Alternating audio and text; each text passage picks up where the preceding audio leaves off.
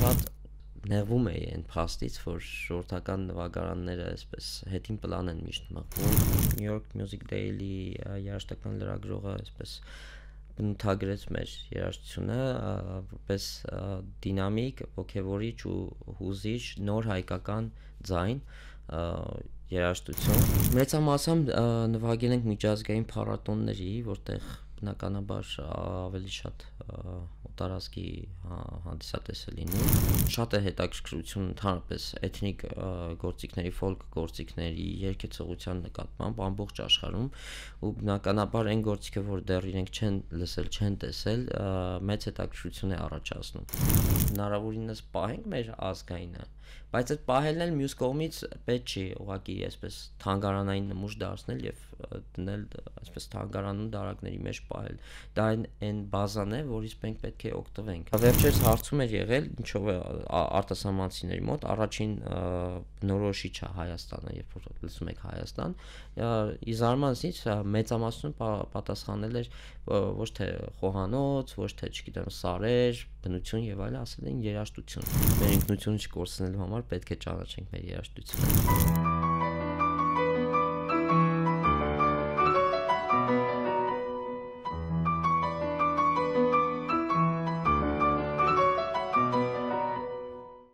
Հանրային ռադիոյի եթերում Արարատյան հայրապետական թեմի ինքնություն ռադիոհաղորդումն է։ Բարև ձեզ։ Հաղորդումը վարում եմ ես Նոեմին։ Սիրելի ունկնդիներ, այսօր այնպես է ստացվել, որ մի քիչ երաշտական հաղորդում ենք ունենալու եւ խոսելու ենք հայկական երաշտության, հայկական ավանդական նվագարանների մասին, դրանց պահպանման կարեւորության մասին։ Եվ այսօր տաղավարում ես սիրով հյուրընկալել եմ Միքայել Ոսկանյանին։ Բոլորդ կարծում եմ գիտեք, բայց ներկայացնեմ թառահար, երգիչ, կոմպոզիտոր չէ՞ մի մի քանի 100 երկի հեղինակ կամ հարյուրավոր երկերի հեղինակ երկեր եւ գործիքային եւ գործիքային երաշտական գործերի հեղինակ ձեր սերը հայկական երաշտելու թարի նկատմամբ երբ ծնվեց? Նախ բարև ձեզ այդ պատմությունը բազմիցս պատմել եմ, բայց շատ հետաքրքիր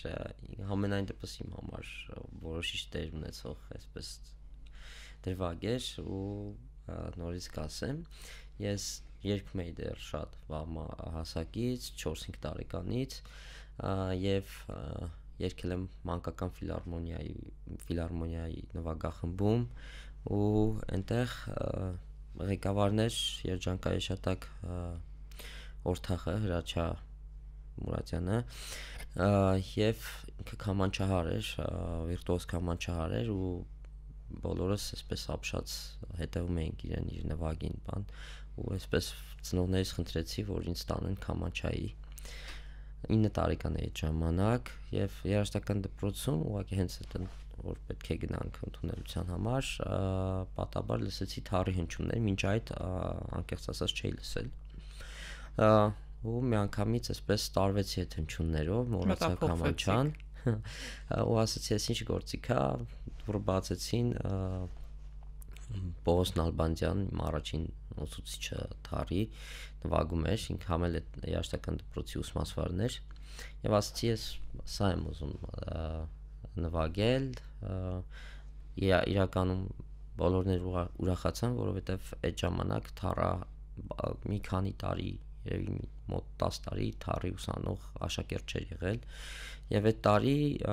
բացի ինձնից եւս երկու աշակերտ եղան իմ ընկերները Դավիթ եւ Արսենը եւ երեքով ընդունվեցինք Թարի բաժին միասին ավարտեցինք, միասին հետո աշխատեցինք Հայաստանի ազգային նվագարանների պետական նվագախմբում, հետո ես առանձնացա ու իմ ճանապարհը այսպես գծեցի։ Այդ դժվար չէր այդ ժամանակ մանավանդ այդ փոքր տարիքում, երբ ավելի մոդայիկ գործիքներ էին նվագում ձեր հասակակիցները, ընկերներ, ասենք գիտար, սաքսոֆոն կամ չգիտեմ ինչ, նվագել թար, որը այն ժամանակ որոշակիորեն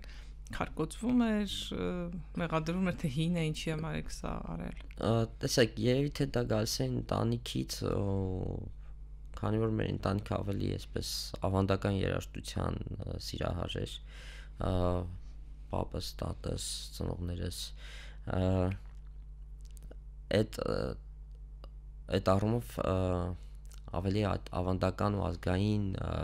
մշակութային դաստիարակություն եմ ստացել շատ չէի տարվում այդ այդ համենայն դեպս այդ ժամանակ շատ չէի տարվում ժամանակակի այդ ժամանակվա ժամանակակից կամ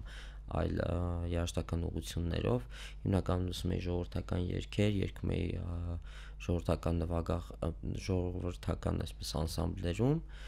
ու բնական է որ ավելի հակված էի ժողովրդական գործիք տիրապետելու ուրիշ բան որ հետագայում ինքս արդեն իմ համար բարձեցի այլ երաժշտության ժանրերը ոճերը ուսումնասիրեցի հետևեցի որն էլ ընթացքում նաև այսպես ազդեցություն ունեցավ իմ որպես թառահար որպես ստեղծագործող հետագա գործունեության վրա Ինչու որոշեցիք ժողովրդական գործերը ներկայացնել նաև այլ ոճերի կամ ժողովրդական նվագարանը ներառել նաև ժամանակակից այլ ոճերի երաժշտության մեջ։ Անկեղծ ասած, շատ այսպես նեղվում էի այն փաստից, որ ժողովրդական նվագարանները այսպես հետին պլան են միշտ մղվում, միշտ առաջնահերթությունները տրվում են այլ ժանրերի այլ նվագարան այլ նվագարանների ամենելով չեմ ուզում այսպես փնովել այդ նվագարանները, բոլոր նվագարաններն իրենց տեղն ու նշանակություն ունեն, բայց դրանց հավասար նաև մեր ազգային նվագարաններն են։ Ինքս, քանի որ նվագարաններից մեկի այսպես կատարող էի, փորձեցի գտնել ձևաչափ, որպեսզի այդ նվագարանը ավելի հասանելի երաժշտության միջոցով փորձեմ այսպես ունկնդիրներ հա, հավաքել նվագարանի համար առաջին հերթին եւ երկրորդն էլ ինքս ունեի ստեղծագործություններ, հեղինակային ստեղծագործություններ նվագարանով գրված, որոնք այսպես նվագակցություն էին պահանջում այլ ժանրեր այլ ժանրերի նվագակցություն էին պահանջում։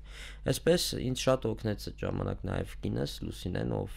քաջալերեց, ոգեշնչեց, որպեսզի հավաքեմ նվագախումբ եւ 2011-ին հավաքվեց նվագախումբը 12-ի մարտին արդեն առաջին մենահամերգ կայացավ իդեպ որպես թարի մենահամերգ դա առաջին անգամ էր Ընդհանրապես նախինում էլ չէր եղել, չէ՞, թարի հետ կապված նախ թարը վարպետներն չեն մեր վարպետներ, մեր կատարող վիրտուոզները շատ են նվագել, 1-2 գործ, բայց այդպես առանձին մենահամերգ, երկու ժամանոց դեռ չէր եղել։ Ու դա առիթ դարձավ, որ մարդիկ սկսեն այլ կերպ նայել թարին։ Մարդիկ հենց այդ առաջին համերգից ի վեր շատ հետաքրքրությամբ նայեցին գործիքին, արձագանքները շատ այսպես լայն էին ու նույնիսկ հրավերներ ուրիշ համերգասրաններից, հրավերներ արտերկրից դրան օգնեց նաև համացանց իհարկե այսպես բախտ բախտս բերեց որ այն դարաշրջանում սկսվեց եւ ամեն ինչ կարող են մեր տարածել Դժվար չի թար ամեն դեպքում իր ձայնային տվյալներով կամ իր հնարավորություններով համադրել, ասենք, այլ գործիքների հետ դժվարություն կա թե ամեն ինչ հնարավոր է բոլոր ստեղծագործները կատարել թե ամեն դեպքում որոշակի առանձնահատկություններ կան։ Տեսեք, ցանկացած գործիքով կարող կարող ես ցանկացած երաժշտություն նվագել այստեղ խնդիրը այդտեղ չէ, խնդիրն է այն է, թե ինչ երաժշտություն ես նվագում ու ինչ ավելի սազական ու գեղեցիկ կդա, ավելի գեղեցիկ կդարձնի գործիքը, գործիքի հնչողությունը ինչ ինչ տիպի մեղեդիներին է ավելի հարմար սազական հարմար սազական կա մի քանի բան ճիշտ գիտելիքի օգտագործում, այնպես անես, որպեսզի գործիքը հնչի այդ գործիքներ, մնացած գործիքների հետ, ճաշակ եւ աշխատանք։ Պարոն Ոսկանյան, կասեք, այս տարիների ընթացքում ամենատպավորիչ, ամենահիշվող արձագանքը գնահատականը ձեր աշխատանքի նկատմամբ ո՞րն է եղել։ Կարծում եմ Նյու Յորքի հյուրախաղերից հետո, համերգից հետո եւ New York Music Daily երաժշտական լրագրողը այսպես բնութագրեց մեր երաժշտությունը որպես դինամիկ, ողջևորիչ ու հուզիչ նոր հայկական ձայն երաժշտություն դա է որ այսպես երեք բառով փորձեց նկարագրել ինքս անկեղծ շատ դժվարանում եմ ինչ որ բառեր գտնել մեր երաժշտությունը նկարագրելու մասին ամեն դեպքում դա այդպես տպվեց նաև թերթերում ու ինտերնետում այդպես մեզ սկսեցին ճանաչել Նյու Յորքի երաժշտասեր հասարակությունը Դերսում շատ եք ելույթներ ունեցել, չէ՞, շրջագայել եք նաև թե եվրոպական, թե ասիական տարբեր երկրներում, Ամերիկան, փաստորեն նաև հայ հանդիսատեսի համար է ձեր ելույթը, թե նաև օտարներ են գալիս, որոնք հետաքրքրված են կամ զարմանում են, նոր բացահայտում են անում։ Մեծամասամբ նվագել ենք միջազգային փառատոնների, որտեղ բնականաբար ավելի շատ օտարազգի հանդիսատես է լինում, բայց դե ամենտեղ կա հայ համայնք, հայ համայնք եւ երբ գիտեն որ հայկական խումբ է ներկայանալու բնականաբար գալիս են ու ողջևորում են համերգի ընթացքում մեծ մասամբ այո արտասահմանցի հանդիսատեսի ու արտասահմանցի արտասահմանյան փառատոնների կողմից ենք հրավերք ստանում բայց եղել են նաև շատ դեպքեր երբ սփյուռքահայությունն է մեզ հրավիրել ինչ գնահատական արձագանքը իրենց ականջին ոչ սովոր գործիք են եվրոպական ականջի համար թարը այդքան էլ բան չի, ծանոթ չի։ Ինչպես են իրենք արձագանքում, ինչպես են վերաբերում։ Նախ ասեմ, որ հիմա շատ շատ է հետաքրքրություն ընդհանրապես էթնիկ գործիքների, ֆոլկ գործիքների, երկեցողության նկատմամբ ամբողջ աշխարհում ու բնականաբար այն գործիքը, որ դեռ իրենք չեն լսել, չեն տեսել, մեծ հետաքրքրություն է առաջացնում։ Ու դրա հետ զուգահեռ նաև դու երաժշտությունը հрамցնում ես իրենց ցանոթ, այսպես գործիքավորումների, ձայների հետ միասին, այս եւ միշտ ասում են եւ հարազատ ինչ որ բան կա եւ նորություն կա ու շատ հետաքրքրական է ու բոլորը տպավորվում են թարի հնչյուններով ինչպես նաեւ հայկական ֆոլկ երաժշտությամբ որը ինչպես գիտենք ճիշտ ձևով երբ ներկայացնում ես շատ յուրօրինակ է ու առանձնահատուկ Երբ որ Ջիվան Գասպարյանը սկսեց միջազգային հարթակներում ներկայացնել հայկական դուտուկը, հայկական երգությունը, բավականին լուրջ արձագանքներ կտան։ Հույս կունենանք, օրինակ հայկական թառը եւս նման ընդունելության կամ արձագանքների կարժանանա։ Ոչ թե հույս պետք է ունենանք, պետք է նպատակ դնենք եւ ցկտենք այդ նպատակի իրականացմանը, որովհետեւ հնարավոր է իհարկե։ Ես շատ եմ սիրում դուդուկը, շատ եմ գնահատում Ջիվան Գասպարյանի արածը, բայց չեմ թերագնահատում մեր մյուս Չէ, ընդհակառակը ոչ թերագնալ, այլ որպես օրինակ է։ Այո, որպես նախ նախադեպ, հա, մենք ունենք արդեն այդ նախադեպը շնորհիվ Դուդուկի եւ բոլոր մեր ազգային նվագարանները կարող են հասնել ճանաչելիության այդ մակարդակին։ Շատ են թարահարները հիմա Հայաստանում։ Ցավոք շատ չեն 10-ից մի քիչ ավել կան նաև աշակերտներ, բայց քանակապես շատ չեն էլի կոնսերվատորիայում եւ երաժշտական դպրոցներում կան։ Այստեղ խնդիրը այն չէ, մենք ունենք լավ թառահարներ, որոշակի աշխատանքներ տանելուց այսպես հետո մենք կարող ենք ունենալ աշակերտներ։ Մենք ավելի մեծ խնդիր ունենք, որ թար պատրաստող վարպետ մեկ հոգի ունենք եւ 80-ից մարդ է ու ինքը ունի աշակերտ, շարունակող ունի։ Կարող գտնենք աշակերտ։ Ես հենց հիմա այստեղ եթերից կարող եմ հայտարարություն անել, եթե մարդ կա ով հետաքրքրված է ու կուզի սովորել այդ գործը, որովհետեւ հնարավոր է 20 տարի, 15-20 տարի դեռ այդպես մեծ պահանջակ չունենա հա այդ Չէ, բայց կարող է 3 տարի հետո այնպեսի մեծ պահանջարկ լինի, նաև կարող է 30 տարի հետո ամեն դեպքում այդ գիտելիք այդ երևույթը թարի պատրաստման կամ խամանչայի պատրաստելու այդ մեր ավանդույթները պետքա մի ձև փոխանցվի։ Սերունդին փոխանցվի, այո։ Դա չէ կկորցնենք թար նվագելը բարդ է, որ չեն գալիս, թե ուղակի գովազդված չէ, ներկայացված չէ, ճիշտ մատուցված չէ գործիքը։ Մի քանի խնդիրներ կան, որ կարծում եմ դրանց հետ է կապված սոցիալական խնդիրներ, որովհետև շատ ընտանիքներում այն հասկացողությունն է, որ ինչ պետք է անես թարնվագելով, ավելի լավ այնպեսի բան նվագի, որ եթե երաժիշտ ես ուզում դառնաս, այնպեսի բան նվագի, որ հետո ռեստորաններում լավ փող գումար աշխատես։ Երկրորդ խնդիրը հենց այդ մի քիչ էլ մեր այսպես օտարամոլությունն է, որ անգամ եթե չես ուզում ռեստորանային երաժիշտ դառնաս, այնպեսի գործիք նվագիր, ամեն ինչ ընտանիքից է գալիս ու ընդհանուր հասարակական ընկալողականությունից մեր ազգայինի նկատմամբ, մեր ազգային գործիքների նկատմամբ, ընդհանրապես միայն երաժշտության մեջ չէ այդ խնդիրը, ընդհանրապես մենք ունենք այդ խնդիրը։ Հենց այդ պատճառով էլ նաև իմ գործունեության մեջ ես դուրս եկա այդ դասական կատարողականության կատարողականությունից, որպիսի ուրիշ կողմից նաև գործիք ցույց տամ, քանի որ գործիքը գործիք է, հնարավոր է ամեն ինչ նվագել լավ նվագել կամ լավ երաժշտություն նվագել, ուրիշ կողմից ցույց տամ այդ գործիքի հնարավորությունները, որպեսզի միգուցե էլի մարդիկ փորձեն գայթակղվել ինչու՞ չէ, հա, գայթակղվել, ինքս գայթակղությունից եմ սկսել թարնվագել եւ նվագել։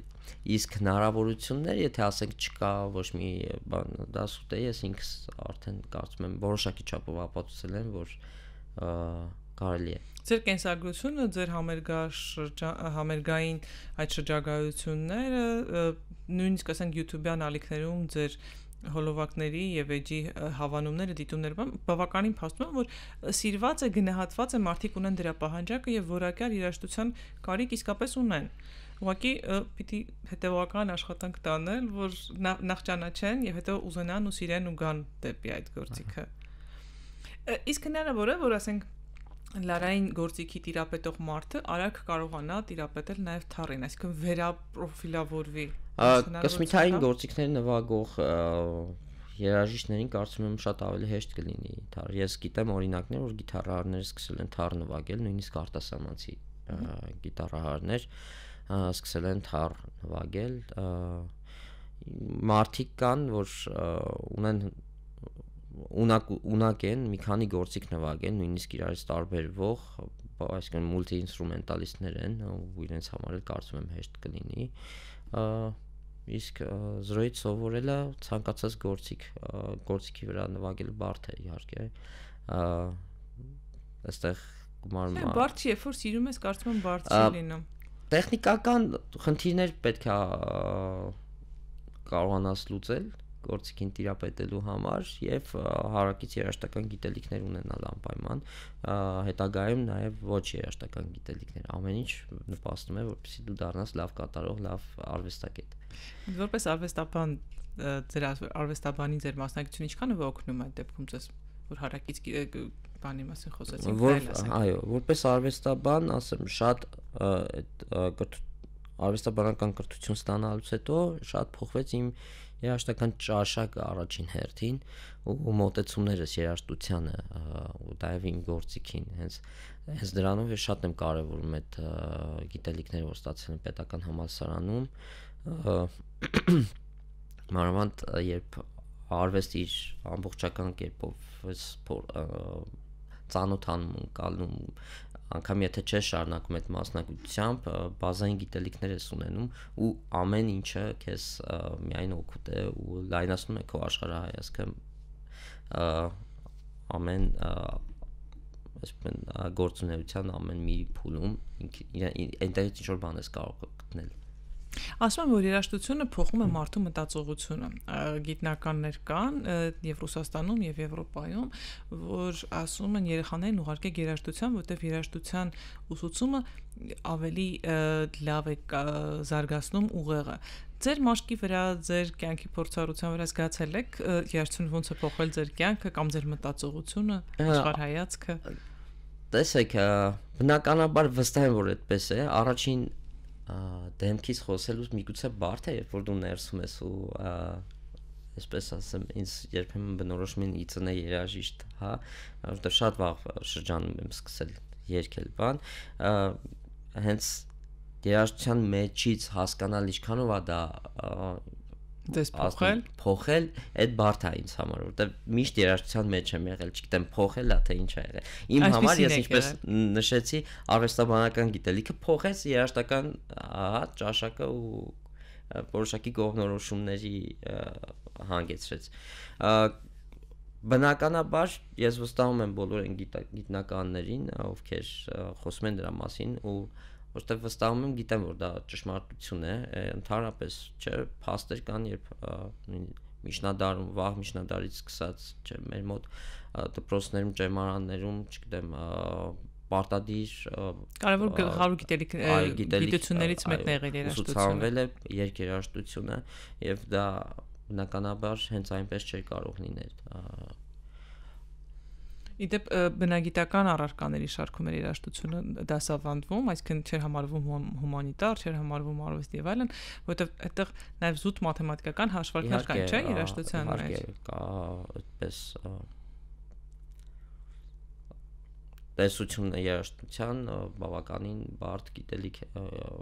գիտելիք է եւ այդ հարմոնիա հարմոնիային տիրապետելը սոլֆեջո եւ այլն եւ եւ հաշվարկ է եւ ինքը շատ շատ շատ շատ բաներ միասին այսպես ամբողջացնող երևույթ է Իմ հաղորդումը կոչվում է ինքնություն։ Ինքնություն։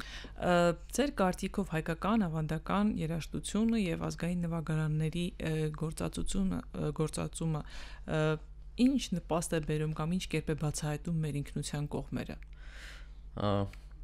Տեսեք, մեր ավանդական ազգային երաժշտությունը մեր ինքնության կարևոր բաղադրիչ է։ Եվ ցանկացած շեղում դրանից կարող է նաև ինքնության շեղում բերել։ Ես վստահ եմ, որ թե մեզ մոտ այդպես չպրոպագանդվեր, չտարածվեր, չքարոզվեր, որ նա օտար երաժշտություն, ռաբիսից մինչև չգիտեմ մենք այսօր լրիվ ուրիշ հասարակություն կլինեինք այսինքն երաժշտություն երաժշտության ազդեցությունը շատ ավելի մեծ է քան շատ այլ երևույթների այսինքն երաժշտությամբ դու կարող ես մարդուն այնպես փոխել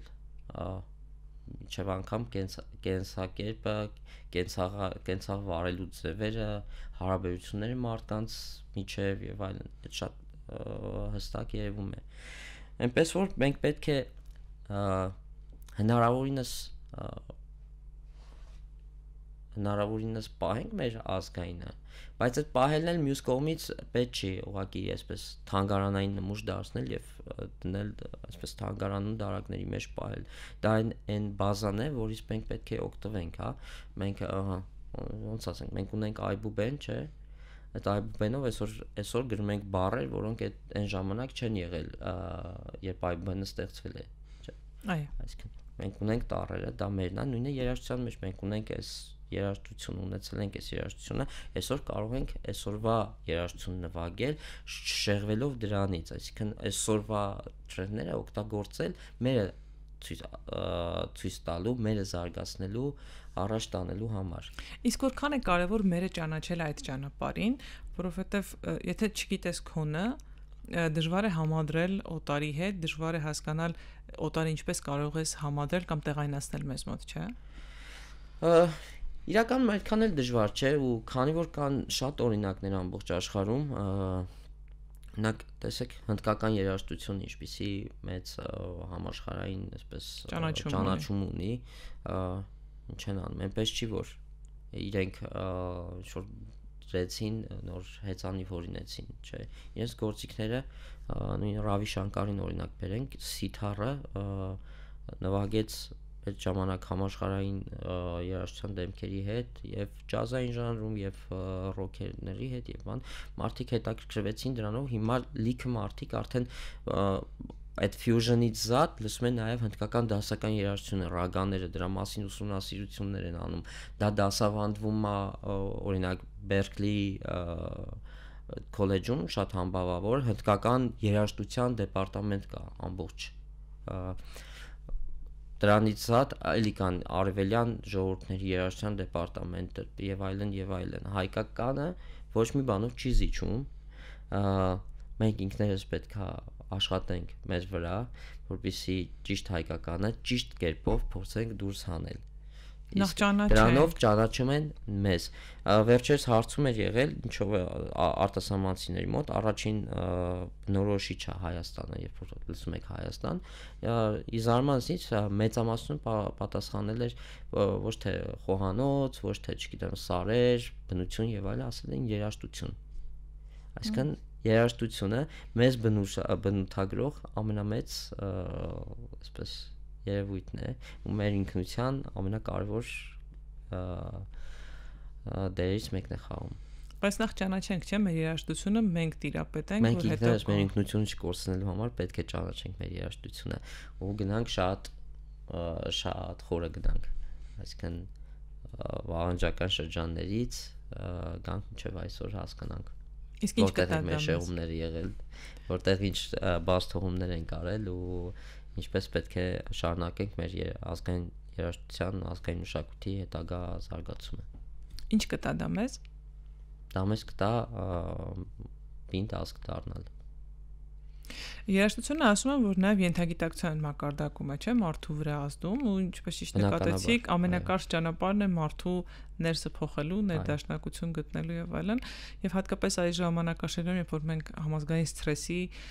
կորուստների թոքեբանական ծանր վիճակում ենք, երևի պետք է գտնել այն ճիշտ երաժշտությունը, որը նաև կօգնի ներսը խաղաղեցնելու, ներսը հանգստացնելու համար, չէ՞ ամբողջությամբ համաձայն եմ։ Եվ կարճ մի հարց եմ ուզում տալ, որովհետև քիչ ժամանակ է մնացել ստեղծագործելու ձեր ներշնչանքի աղբյուրները, որոնք են երբեք ինչ որ մի բան սկսում գրել։ Առիթներ են պետք թե ինքնաբուխ ծնվում են դրանք միշտ կարծում էի որ ինքնաբուխ ծնվում են, բայց վերջերս երբ որ այսպես վերլուծություն եմ անում, հասկանում եմ ամենաշատ ստեղծագործ ամենաշատը ստեղծագործել եմ ստրեսային իրավիճակներում հետաքրիր է, բայց այդպես է ու պարտադիր չի ստրեսային իրավիճակում ինչ որ տխուր մեղեդիներ կամ բան հեշտ պարտադիր ուղղակի այդ իրավիճակներում երևի թե ինքս ինձ հանգստացնելու ամենակարճ ու այսպես նպաստող միջոցն ստեղծագործելն է եղել ավելի հեշտ է երկեր գրել իրենց երաժշտությամբ թե գործիքային երաժշտություն ինձ մոտ այսպես 50-50 է, չեմ կարող ասել ինչն է ավելի հեշտ։ Երբեմն երգը հենց երաժշտության հետ միաժամանակ ծնվում է։ Երբեմն մի հատ բանաստեղծություն ես կարդում, մի անգամից երաժշտությունը այսպես մտքիդ մեջ սկսում ես երգ։ Հիմա ես այդպես օր ալբոմի վրա եմ աշխատում, ձերքից տակ ունեմ ուրիշ միջնադարի հայ բանաստեղծության օրինակներ, ֆանտաստիկ օրինակ չնաշխարհի գեղեցկությամբ բանաստեղծություններ են ու որը կարդում ես մեղեդին ինստինկտիվ դուրս է գալիս մեջից որ հեղինակներն է կան դրա տարբեր հեղինակներ են նույնիսկ շատ այսպես պատառիկներ կան որ անանուն հեղինակների հեղինակած են ես այդ շատ է որովհետև դուք համադրում եք նաև մշակույթի մեկ այլ ճյուղ, հա, միջնադարյան գրականությունը, պոեզիան, հայկական եւ բերում եք ժամանակակից դաշտ ավանդական հայկական ժողովրդական երկարանի միջոցով թարի հետ եք նաև համադրելու թե դրանք նաև ըստ ըստ երկի կերևա այնպես ինքը ավելի այսպես վոկալային ալբոմ է լինելու որտեվ երկեր են հնչելու այսինքն եթե գործիքավորումը պահանջի որ թար պետք է օգտագործվի բնականաբար մի քանի երկերի մեջ կօգտագործեմ բայց հենց միտումը թա այստեղ թարը չէ միտումը ավելի շատ այդ բանաստեղծությունները երկ երկի տեսքով մարդկանց փոխանցելն է շուտ կավարտեք ալբոմի աշխատանքները հիմա ստեղծագործական փուլում եմ գրեթե կես երկերի կեսը արդեն գրել եմ գանք առաջ Ես անհամբեր կսպասեմ, որովհետև հետաքրքրեց իրականում ունենք օրինակներ, երբ որ 20-րդ դարի պոետներին են կանդրադարձել Տերյան, Չարենց, Թումանյան իրենց ստեղծագործություններն են վերածել։ Մոտ 10 14-ից 17-րդ դարերի այդ բանն է։ Սայատնովա չեք հասել ավելի հին շրջան, հետաքրքիր Սայատնովն էլ ամեն դեպքում ներկայացված է, բայց ավելի վաղ շրջանը չէ։ Շնորհակալություն ձեզ հետաքրքիր ու այդ կարևոր գործի համար, որովհետև իսկապես 14-ից 17-րդ դարն էլ կարևոր շրջանը մեր մշակույթը վերհանելու, նորովի մատուցելու, ներկայացնելու, վստահ եմ, որ բավականին բարձրորակ աշխատանք է ստացվելու։ Հուսանք։ Ես եմ շնորհակալ հրավերի համար։ Ձեզ ստեղծագործական հաջողություններ եմ մաղթում, քանի որ ձեր հաջողությունները նաև մեր հաջողություններն են, մեր մշակույթը ներկայացնելու ճանապարհ եք։ Նաև դուք ձեր ստեղծած հիմնադրած բենդերը եւ ձեր աշխատանքները հուսամ որ նաև ձեզանով աշխարհում մեզ ավելի լավ կճանաչեն եւ մենք մեզ ավելի լավ կճանաչենք, մեր ինքնությունը ավելի լավ կհասկանանք։ Շնորհակալություն ձեզ շատ։ Ինքնության տաղավարում այսօր հայկական երաժշտությունը նորովի ներկայացնելու մասին մենք այսօր զրուցում ենք Միքայել Ոսկանյանի հետ։ Միքայել Ոսկանյանին շատերդ գիտեք որպես թառահար եւ որպես երգիչ եւ կոմպոզիտոր։ Ինքնությունը եթերում կլինի հաջորդ շաբաթ ցտեսություն։